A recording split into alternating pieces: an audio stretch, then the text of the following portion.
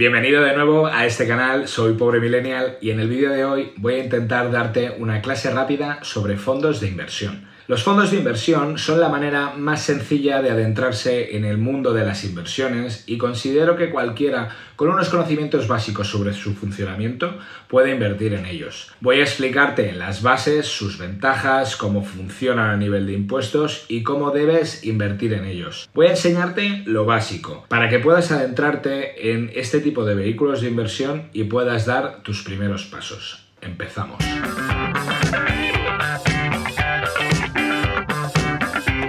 ¿Qué son los fondos de inversión? Los fondos de inversión son vehículos financieros que reúnen el dinero de múltiples inversores y lo invierten en una cartera diversificada de activos como podrían ser las acciones, los bonos, el real estate y otros instrumentos financieros como por ejemplo el oro.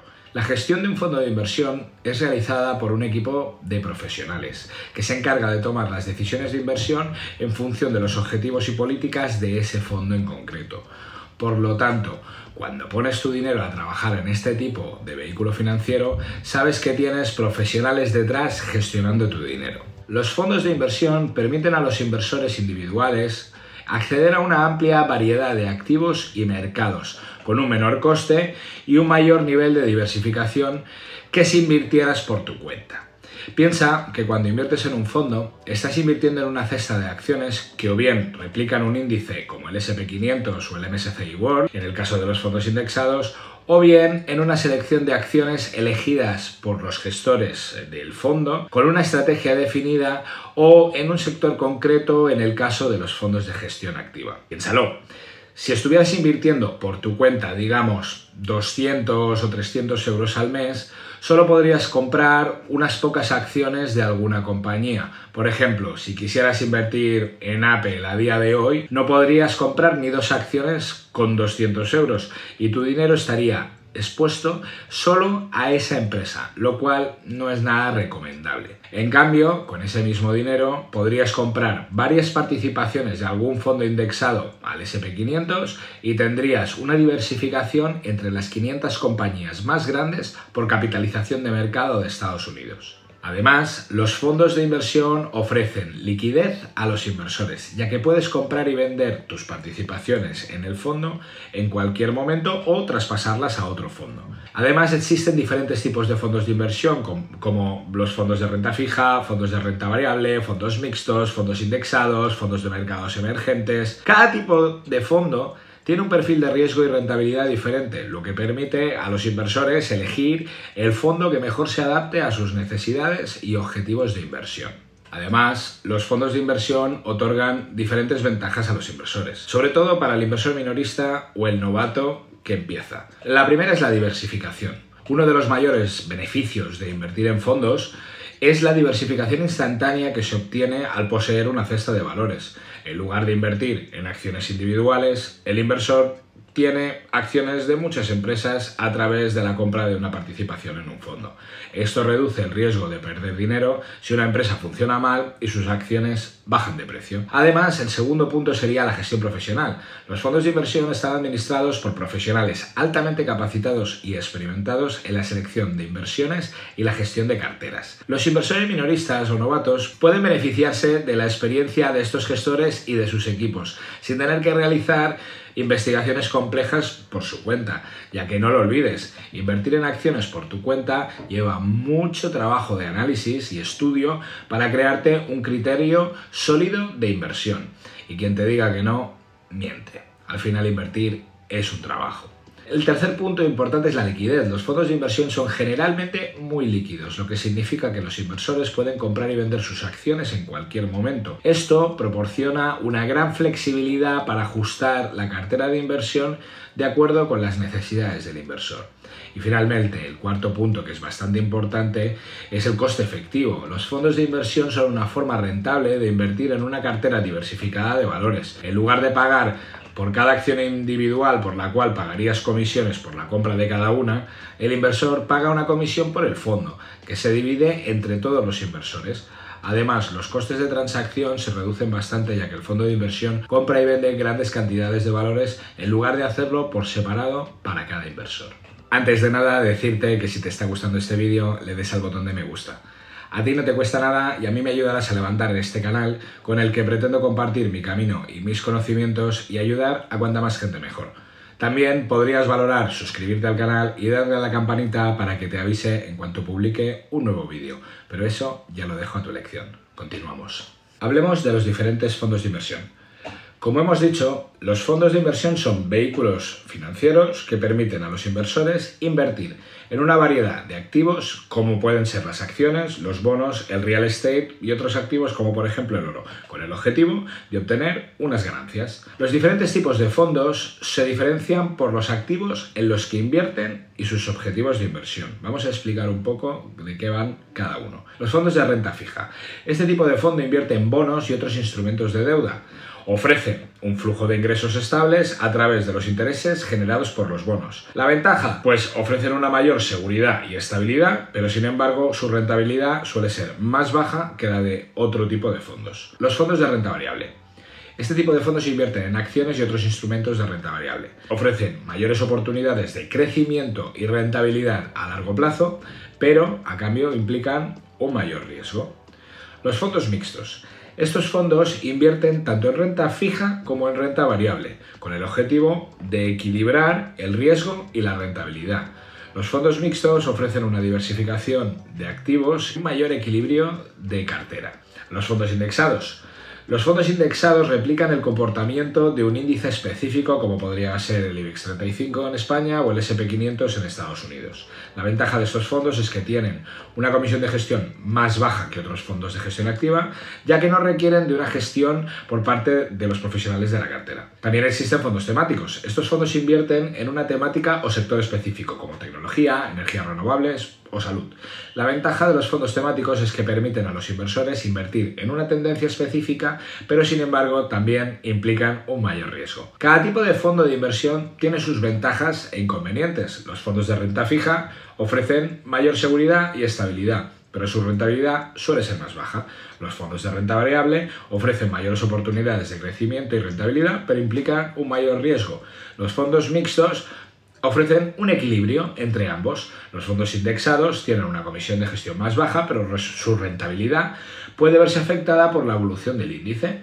En cambio, los fondos temáticos permiten invertir en una tendencia específica, pero su rentabilidad puede ser más volátil. Todo esto es lo básico que debes conocer sobre los diferentes tipos de fondos. Ahora, a la hora de invertir, si entras en cualquier broker, te darás cuenta de que hay miles de fondos de inversión en los que puedes poner tu dinero a trabajar, pero ¿cómo selecciono un fondo que se adecue a, a, mis perspectivas de inversión y a mis objetivos. Pues bien, la selección adecuada de fondos es crucial para que puedas cumplir con tus objetivos de inversión y maximizar tu rentabilidad. Por ello, voy a detallarte algunos aspectos importantes que debes tener en cuenta a la hora de seleccionar un fondo de inversión. El primero es el perfil de riesgo. Es importante que como inversor tengas en cuenta tu perfil de riesgo antes de seleccionar un fondo de inversión. Tu perfil de riesgo como inversor debe ser compatible con el nivel de riesgo del fondo. Si como inversor tienes un perfil conservador, deberías invertir en fondos de renta fija, mientras que si eres un inversor más agresivo, podrías optar por fondos de renta variable o por fondos de mercados emergentes. También tienes que tener claro tus objetivos de inversión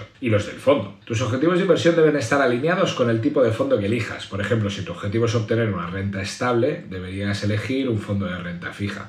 Si por el contrario tu objetivo es maximizar la rentabilidad a largo plazo, un fondo de renta variable podría ser una opción más adecuada para ese perfil. También tienes que tener en cuenta el plazo de inversión. El plazo de inversión es un factor importante al seleccionar un fondo, porque si como inversor tienes un horizonte de inversión a corto plazo, quizá deberías optar por fondos de renta fija a corto plazo, pero si por el contrario tienes un horizonte de inversión a largo plazo, los fondos de renta variable pueden ser una opción quizá más adecuada. También tienes que fijarte en los ratings de Morningstar. Los ratings de Morningstar son una herramienta útil para evaluar el rendimiento y la calidad de los fondos de inversión. Morningstar asigna una calificación a los fondos basada en una serie de factores como el rendimiento pasado, la calidad de la gestión y los costes. Puedes utilizar esta información para comprar diferentes fondos de inversión y tomar decisiones informadas. Te dejo un link en la descripción del vídeo para que puedas empezar a familiarizarte con la página y bichearla un poco. También es importante que analices a los gestores del fondo. Pues un equipo de gestión experimentado y bien informado puede ayudar a maximizar los retornos de ese fondo. Puedes investigar el historial de ese equipo y su experiencia en el sector para tomar una mejor decisión a la hora de poner tu dinero en ese fondo en concreto.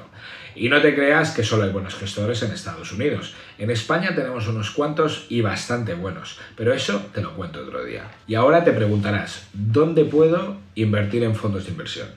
Pues podrás hacerlo a través de un banco o a través de un broker. A la hora de elegir un broker para invertir en fondos de inversión es importante que consideres estos aspectos. El primero, es importante conocer las comisiones que te cobra el broker por la gestión de esos fondos, como por ejemplo la comisión de custodia o la comisión de gestión, la comisión de suscripción o la comisión de reembolso. Es recomendable comparar las comisiones de diferentes brokers antes de tomar una decisión. La siguiente cosa que tienes que mirar es la oferta de fondos. Es un aspecto importante a considerar para que veas cuántos fondos de inversión hay disponibles en la plataforma. Es importante que el broker ofrezca una amplia variedad de fondos de diferentes categorías y no se centre solo en sus fondos propios como hacen los bancos. Así, el inversor tiene la posibilidad de diversificar mucho mejor su cartera. También tienes que mirar la plataforma y las herramientas que ofrece. Es un factor importante a considerar porque es, es necesario que la plataforma sea fácil, intuitiva y que tenga herramientas de análisis y de seguimiento de la rentabilidad de tu cartera. También un aspecto muy importante es la regulación.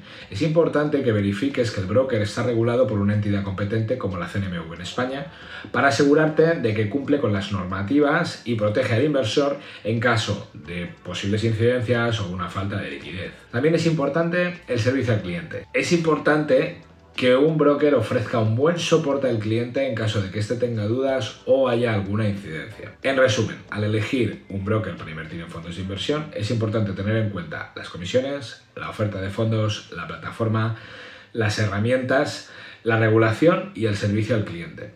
Una buena elección de broker puede marcar la diferencia entre el rendimiento de una inversión y también tu satisfacción como inversor. Para mí, si estás en España, la mejor opción para invertir en fondos es MyInvestor. Es la plataforma donde yo hago mis inversiones tanto en fondos indexados como en fondos de gestión activa, acciones y algunos ETFs. Y a día de hoy no tiene competencia en cuanto a comisiones. Si quieres darte de alta con ellos, te dejo un link en la descripción del vídeo. Ahora hablemos de impuestos. Mucha gente no invierte porque tiene miedo a Hacienda.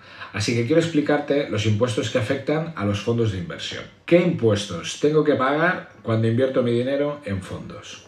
Pues bien, el tratamiento fiscal de los traspasos entre fondos en España es una ventaja muy atractiva para los inversores, ya que en nuestro país no vas a pagar impuestos si traspasas tu capital de un fondo a otro. Te lo explico.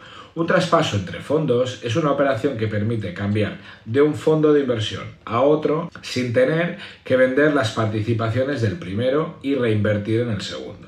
En lugar de ello, las participaciones se traspasan de un fondo a otro, lo que puede tener importantes ventajas fiscales para ti. En España, los traspasos entre fondos no están sujetos a impuestos. Esto significa que no tendrás que pagar sobre el beneficio generado en el fondo original cuando se traspasan las participaciones a otro fondo. En cambio, el valor de las participaciones se transfiere al nuevo fondo y se mantiene su fecha de adquisición original a fines fiscales. Además, los traspasos entre fondos pueden ser una forma eficiente de reajustar una cartera de inversión sin incurrir en el pago de impuestos por las ganancias realizadas. Por ejemplo, si un inversor tiene una cartera con varios fondos y desea cambiar la asignación de activos, por ejemplo, quieres pasar de renta variable a renta fija, puedes traspasar las participaciones de un fondo a otro sin tener que pagar impuestos sobre las ganancias acumuladas. Solo vas a pagar impuestos en el momento que quieras vender finalmente tus participaciones y rescatar el dinero de ese fondo. Pero hasta que no hagas esto, no vas a pagar ni un solo céntimo al Estado por tus inversiones, lo cual a mí me parece uno de los puntos más atractivos de este tipo de inversiones. Además, Podrás vender las participaciones que quieras en función de tus necesidades. Si por ejemplo necesitas rescatar un par de miles de euros para comprarte un coche o dar la entrada de una vivienda, no tienes por qué vender todas tus participaciones. Puedes vender las que necesites para el fin al que vas a destinar ese dinero. Por tanto, solo vas a pagar impuestos por la parte que te toque de ese dinero que retiras. Es decir, podrías ir teniendo beneficios cambiándote de fondo y en caso de querer invertir en otra cosa, Hacienda no podrá quitarte ni un solo euro hasta que no decidas meter ese dinero en tu cuenta bancaria. Suena bien, ¿no? Por todo lo que te he explicado, me parecen la mejor manera de adentrarse en el mundo de la inversión. Y hasta aquí el vídeo de hoy. Espero que este vídeo te haya dado una visión de 360 grados sobre los fondos de inversión sus ventajas, los diferentes tipos de fondos, cómo invertir en ellos, qué broker escoger y sobre todo sus ventajas a nivel de impuestos. Este vídeo va a ser el primero de una serie donde iré explicando en mayor profundidad cómo funciona la inversión en este tipo de vehículos, cómo analizarlos como un profesional y pondré algunos ejemplos de fondos que están disponibles en el mercado y algunos en los que yo personalmente invierto. Una vez más, gracias por llegar hasta aquí y nos vemos en el próximo vídeo.